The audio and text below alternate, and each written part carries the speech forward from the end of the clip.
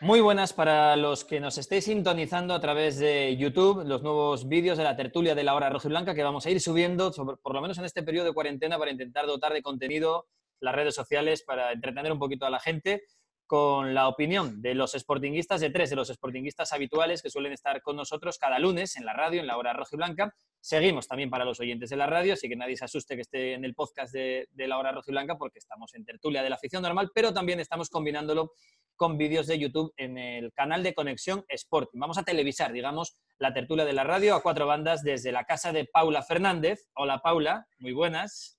Hola Juan, muy buenas. Bonita cocina, bonitos armarios.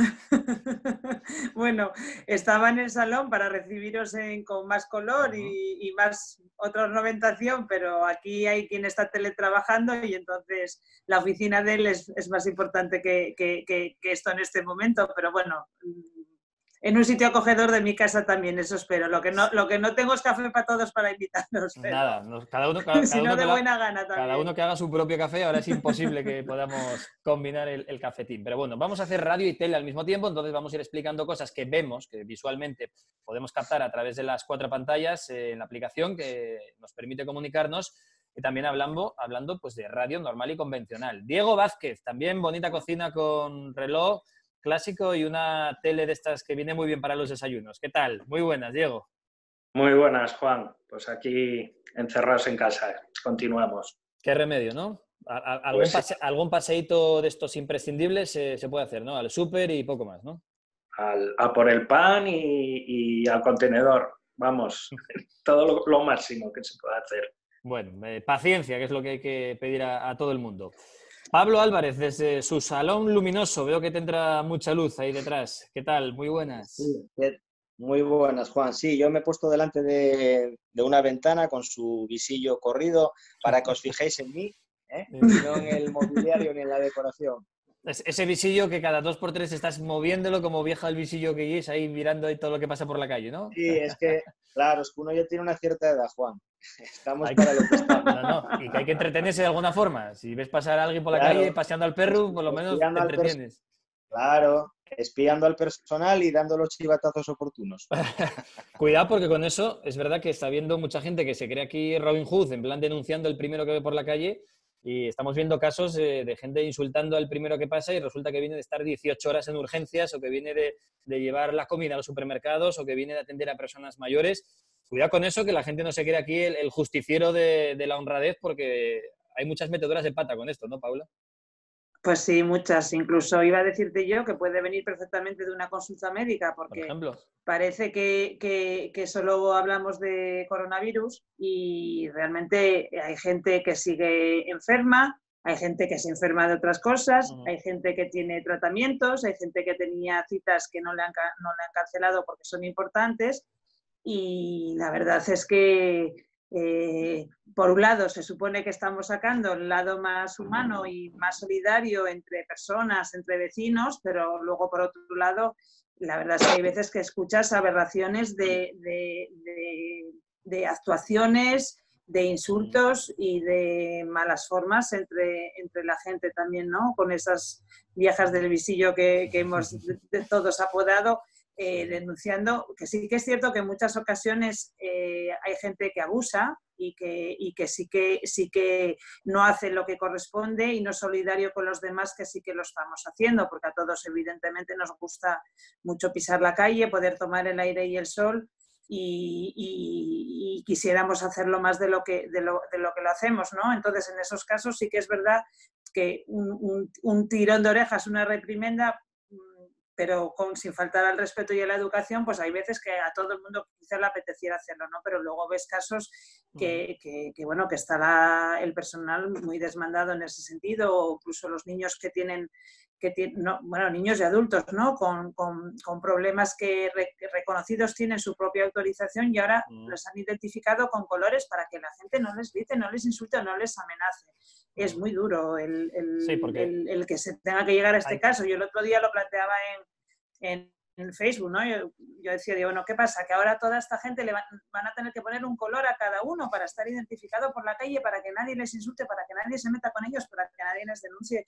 ¿Cómo puede ser que, tengamos que llegar ¿no? a, este tipo de, situaciones? Pero bueno, es así. Pero por encima de todo esto, insisto, está eh, los carteles en, las casas eh, para ayudar a los vecinos, los que te dejan a la puerta eh, una yambiotada que hagan de repostería en casa, el que va por las medicinas de que no puede salir y le hace falta, el que manda tupers, bueno, un montón de cosas, aparte de los que, por ejemplo, tenemos personas mayores que tengamos que ir a hacerles recados o, llevarles medicamentos, pues eh, no sé, sí que está bonito que se está recuperando. Yo tengo recuerdo de cuando yo era pequeña y vivía en la calle Candás, justo en el edificio que lamentablemente han tenido que, poner el edificio entero en cuarentena por, mm. el, por la defunción de, una mujer que había sido vecina mía de toda la vida.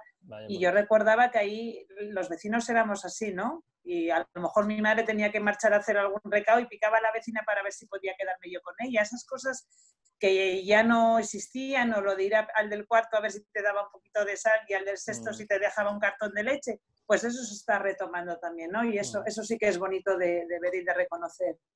Sí, la verdad que ahora volvemos un poco a la cultura del pueblo de antiguamente, cuando había menos vecinos, cuando había mucha más confianza entre, entre la gente, pues eso, cuídame al niño o necesito esto que te ayudo, que un poco nos ayudamos entre todos y eso yo creo que también está sacando lo mejor de, todos nosotros. Pero bueno, sí que es verdad que hay gente que hay que diferenciar entre los que van paseando por la calle porque vienen del trabajo, que vienen de hacer una labor básica para todos, que los que estaban en los primeros días en la terracita sentados, que los que van cuatro veces a San Lorenzo y las cuatro veces detenido por ir a bañarse a la playa, que los que van a pasear al, perro 16 veces al día y ya desde arriba le están viendo, oye, que es la decimoquinta vez que estás paseando al perro que ya está harto, que te está pidiendo el propio animal que lo lleves para casa. No es lo mismo, ¿no? Y hay que tener un poco de conciencia con todo eso. En todo caso, Gijón creo que es una de las ciudades donde más multas, más denuncias está viendo a la, gente. No sé si os coincide ver a la policía mucho por ahí, Pablo. Sí, bueno, a ver, esta situación que estamos viviendo tan, tan terrible, pues obviamente saca lo mejor y lo peor de la, pues esa solidaridad que se respira entre los vecinos de un mismo bloque o incluso de, bloques eh, anexos. Eh, lo peor, bueno, pues que se están cometiendo muchas infracciones, Mm, eso provoca que todos queramos hacer de justicieros, de policías y también tenemos que saber filtrar un poco y no mm, ver como sospechosos a todo aquel que veamos eh, por la calle. Lo que ocurre es que, claro, estamos todos con la mosca tras la oreja porque sí es verdad que se están cometiendo a nivel nacional, pues eh, en todo el país, muchas infracciones y Gijón, precisamente, en Asturias está a la cabeza de, de, estas infracciones. Todavía hace poco se hacía eco la prensa de ello. Conductas que, vamos, eh, resultan inexplicables, como por ejemplo una señora sentada en un banco alegremente con los, con los críos eh, correteando y paseando en bicicleta, mm, gente jugando al tenis, eh, ciclistas que salen con la bicicleta y con toda la equipación a circular por las carreteras de la ciudad como si nada conductas inexplicables que hace que todos desconfiemos de todos. Y es verdad que parece que cualquier persona que ves en la calle ya le encuentras o le quieres encontrar un comportamiento sospechoso. Sí, parece que, todo el mundo quiere ser, quiere ser policía todo el mundo y ser el héroe. Y he encontrado a uno que ha salido que puede contagiar. A... No, tampoco, tampoco, tampoco es eso. Por ejemplo, desde hoy bueno, desde hoy, desde ayer a las 12 de la noche, porque no estaba claro, a las 11 y media no había salido el BOE, no habían dicho claramente qué sectores podían salir, cuáles no, otra, bajo mi punto de vista, otra chapuza más improvisada del gobierno. Eh, ahora han dicho que solamente trabajadores esenciales. Diego, tú que eres eh, arquitecto técnico, estabas por las obras, eh, no sé ahora en qué situación estás, si te han considerado esencial, si van a parar las obras o si van a dejar unos días, unas horas, un tiempo para que se pueda recoger el material. Tú estás un poco en el limbo, no sé en qué situación te encuentras. Bueno, hay gente, los trabajadores que han ido a recoger, recoger sus pertenencias y porque ha sido todo, pues como tú dices, improvisado y, un poco muestra el desgobierno que, estamos sufriendo. Pero, pero bueno, lo cierto es que ahora está todo cerrado y yo, yo ya pues no puedo ni salir. Que antes por lo menos ibas a las obras y, parece que no, pero ahora con, en este tiempo cualquier, cualquier minuto en, el, en la calle pues es que te da como, como vida, ¿no? Y, y, más viendo lo que nos queda por delante. La verdad es que yo vivo aquí en, en Viesques y estoy eh, alejado del centro, ¿no? Y aquí pues imagínate, todavía se ve menos gente por la calle. Encuentras algún vecino pues cuando vas a por el pan o, cosas así, pero la verdad la calle está desierta, que es lo que tiene que, lo que, tiene que ser y lo que nos toca. Oye, en tu caso, que tienes zonas comunes, urbanización, jardines y demás, ¿podéis eh, pasear por ahí? ¿Podéis bajar a tomar el sol o tampoco? Eh, no, no, las zonas comunes también están prohibidas.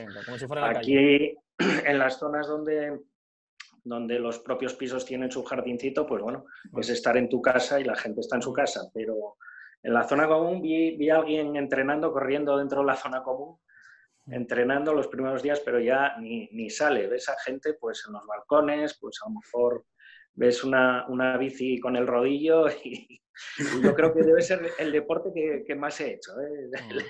el, ver a los vecinos hacer deporte. La de vieja al visillo, vieja al visillo, bueno, aquí la verdad yo tengo terraza y parece que no, pero también te da, la, te da la vidilla porque estás al aire libre y, bueno, las vistas pues, pues son bonitas y, quieras que no, eso ayuda un poco, pero bueno, la sensación de encierro, y lo sé por, por, amigos que, que viven en, en chalés en las afueras, pues por mucho que tengas mm, tal, eh, sientes la sensación de, privación de, tu mm. libertad.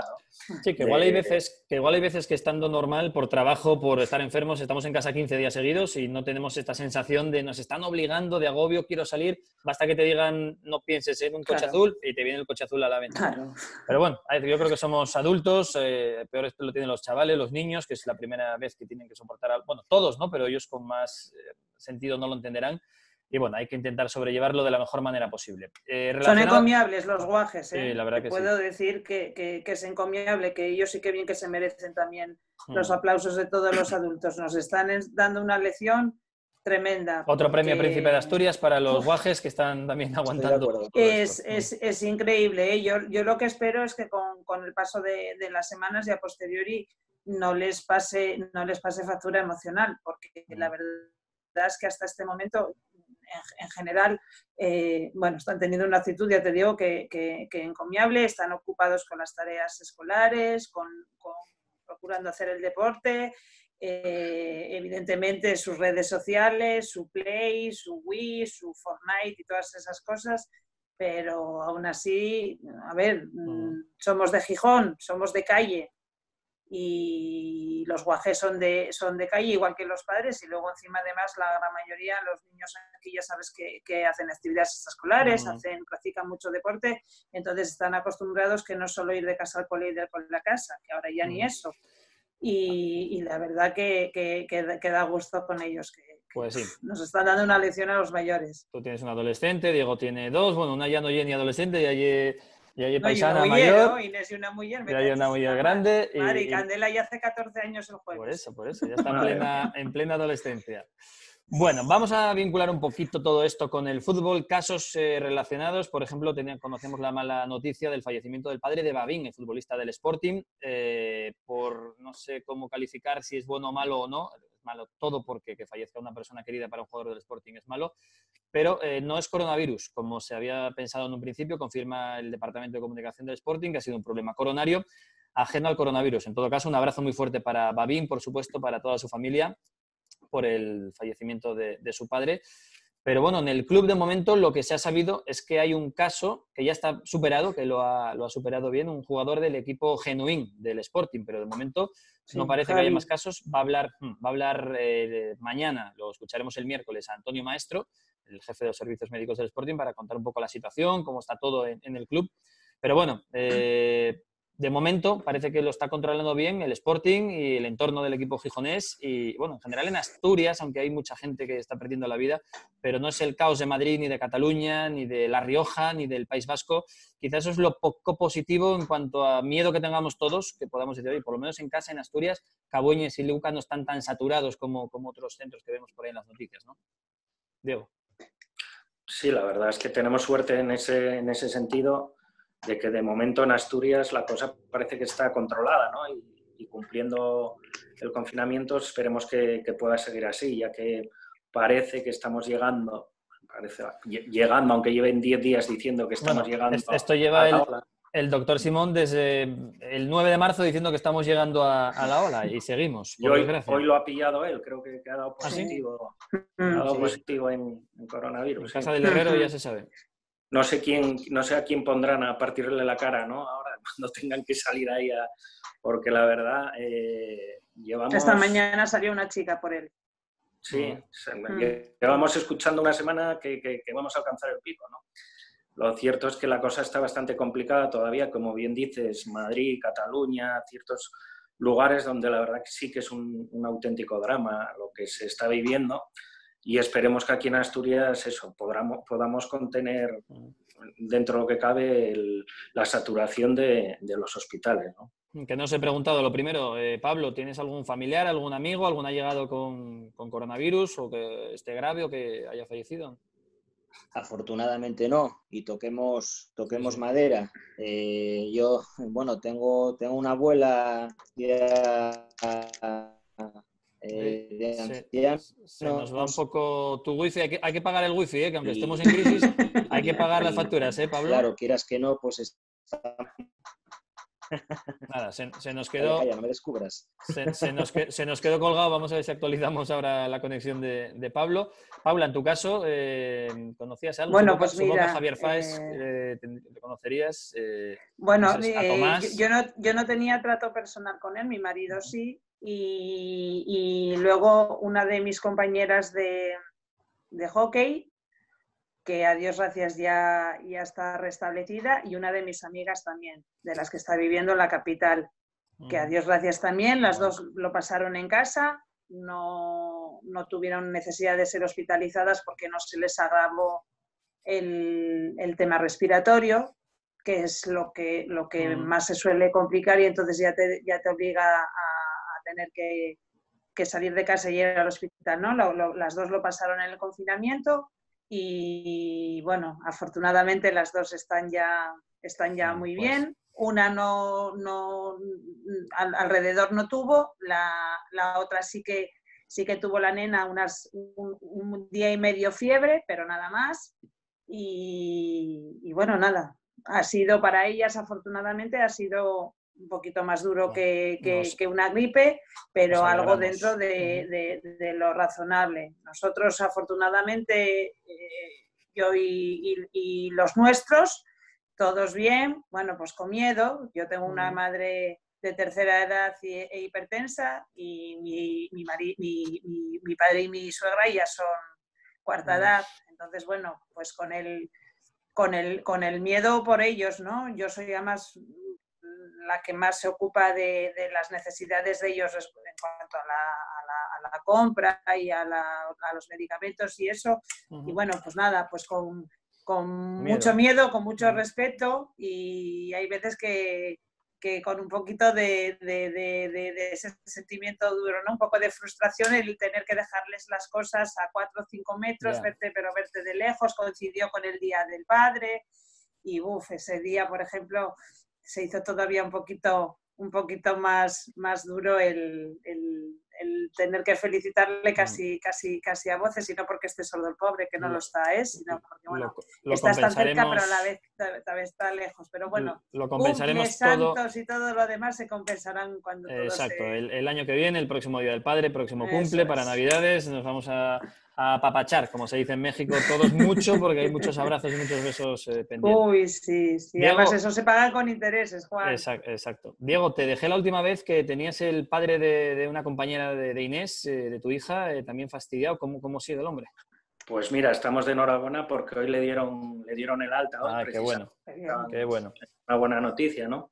Ah. Lo cierto, pero tengo a mi tío, que conocéis los dos, a mi tío de la imprenta, pues ¿Ah, con fiebre. Ah, vaya y, supongo que pasándolo. Lo que pasa es que no tiene, no tiene ni tos, ni tiene, ni tiene problemas respiratorios, entonces de momento hoy está un poco mejor, menos fiebre, pero bueno, con él está mi abuela que va a hacer 98 años. entonces, bueno, él está... está así. él está en su, en su habitación, pero bueno, yo creo que todo esto lo, lo, vamos a pasar, como han dicho, el 80% de la población acabaremos cayendo.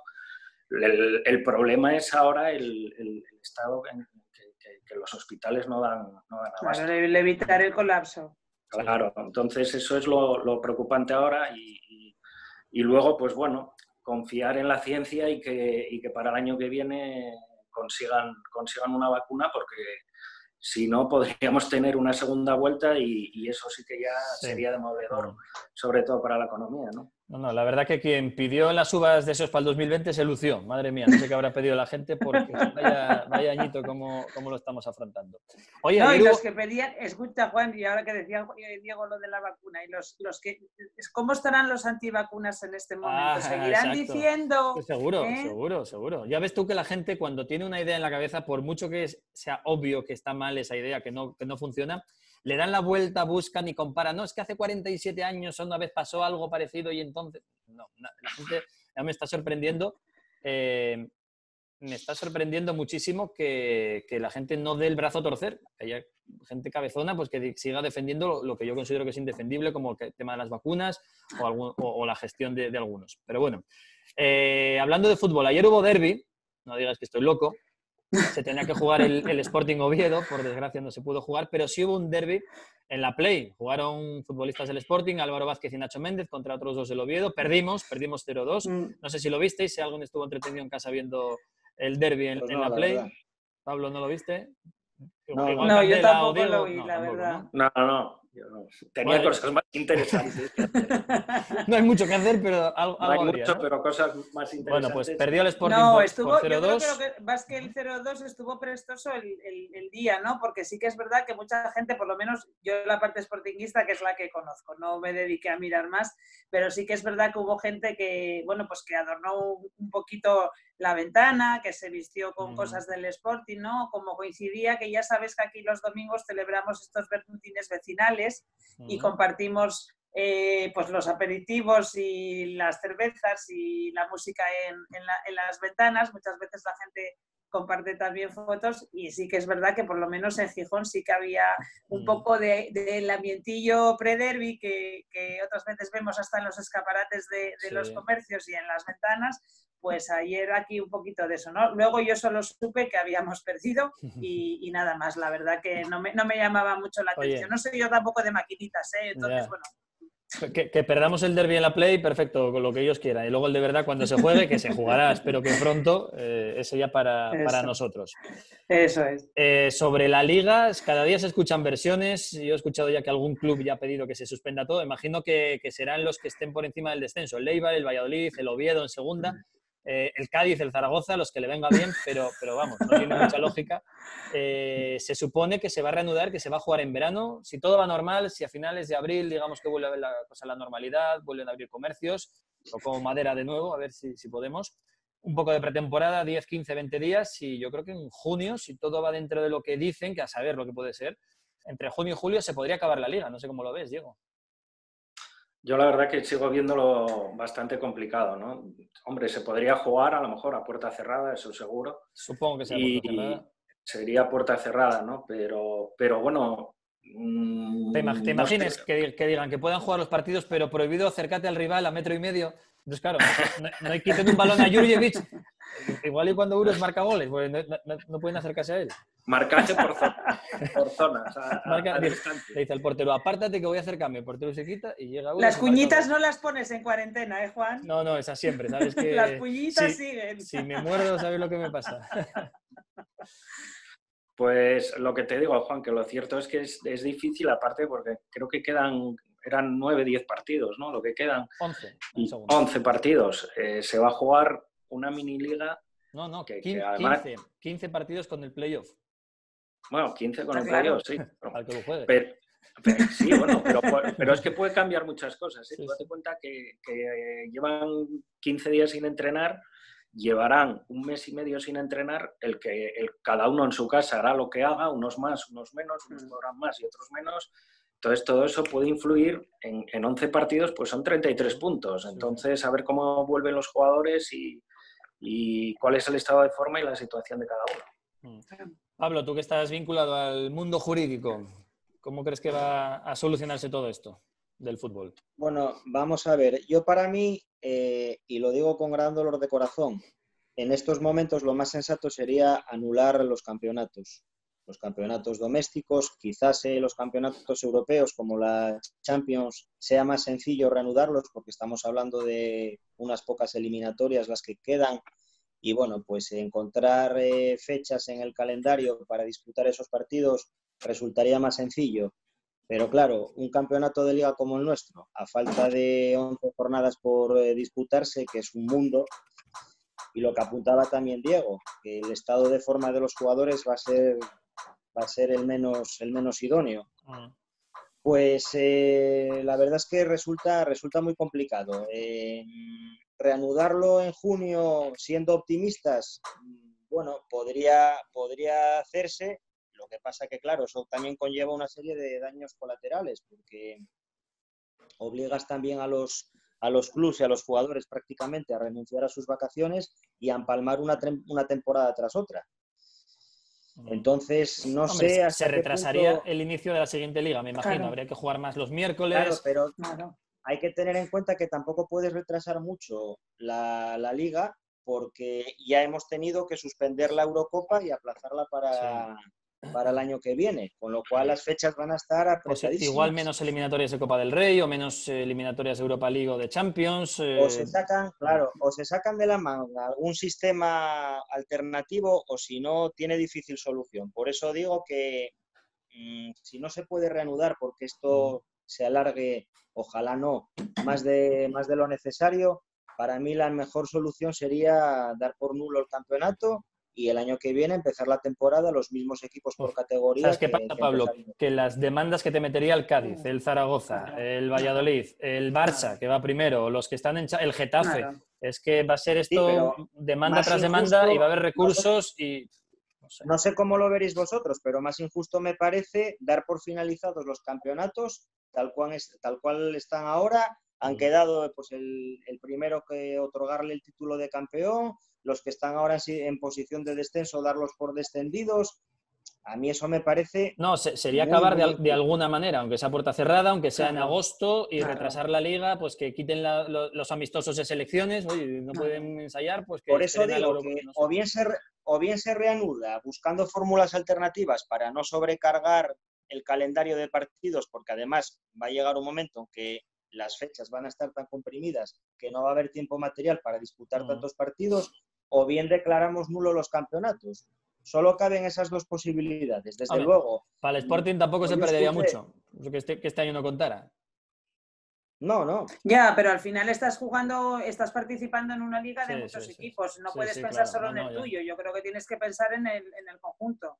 Mm. Eh, yo, sinceramente, yo más que suspender, o sea, más que cancelarlo y darlo por perdido, yo creo que intentaría, se, debería de intentar buscar la fórmula de terminar de jugar esos partidos para que haya las clasificaciones correspondientes eh, de ascensos, de descensos, promoción y demás, y, posiblemente pues en verano no habrá tantos torneos de, verano, que además igual posiblemente en verano todavía, como bien decía Diego, el tema de, la apertura de los estadios al público eh, posiblemente todavía sería prematuro y entonces que se, se, olvidarán un poquito de esos torneos de verano que, que los hacen los grandes para hacer caja, no para otra cosa, y, prolongarlo por ahí y que a lo mejor em, empiece un poquito más tarde el, siguiente campeonato, pero, pero dejarlo como está, como que no haya habido nada este año, me parece, me parece muy complicado, la verdad. Bueno, veremos lo que deciden. En todo caso, cuando vuelva el fútbol, significará que ha mejorado un poco la cosa y así hay con público, ni te cuento, es que volvemos a la normalidad. Pero seguro que poco a poco y a ver qué pasa con la Liga, con la Champions, a ver a quién le dice ahora a los del Atlético Madrid que no cuenta este año la Champions. Se te plantan donde haga falta, después de lo de Liverpool, por ejemplo. Oye, pues muchísimas gracias. Oye, bueno, vamos a hablar de los ERTES de Dios, porque yo estoy flipada. Tenemos para hablar muchos días, Paula. Mañana, madre mía. Cuando tú quieras. tenemos todavía mucha cuarentena por delante para, para seguir hablando. Hoy lo, vamos a ir dejando aquí para el programa de radio del podcast de la Hora Blanca y también primer vídeo que vamos a, subir de esta temporada en Conexión Sporting. Vamos a intentar dotar de contenido todo lo que podamos nuestras redes sociales.